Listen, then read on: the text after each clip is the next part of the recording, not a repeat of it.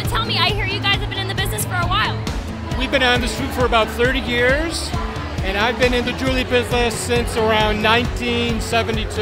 We yeah. love every minute of it. Yes, we really, we really enjoy it. Tell me about the beginning of it. Where were your first locations? And... Our first location was on the corner of Cotton and Main, an adorable little boutique store, and it was a great send-off. And after after a few years, we outgrew it what's different about what you guys do? What makes Gary Jewelers the best? Everything's made with extra care. Really knock our customers out with our service, but most important is the quality. And everything in our store is very different than anything you see anywhere else. Now, are you actually wearing any Gary Mann jewelry right now?